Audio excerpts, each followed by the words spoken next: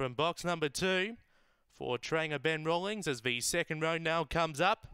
Light on, set to run. Race number one out of Murray Bridge. We're set.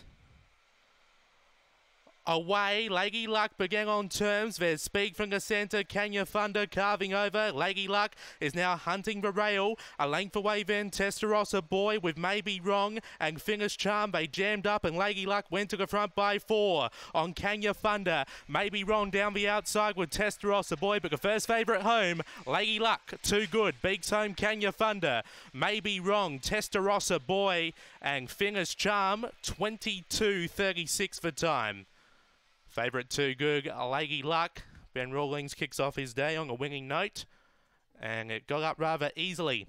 In the end, she bounced to the front on the home turn when the rest of the field jammed up and she careered away for a handy victory. 268 for your numbers. Second will be Garuffi, number six, Kenya Thunder. Tony Rasmussen, third, number eight, Maybe Wrong, Shelley Trengove. And fourth, number four, Testarossa Boy, Marty Doyle. 22.36 that time.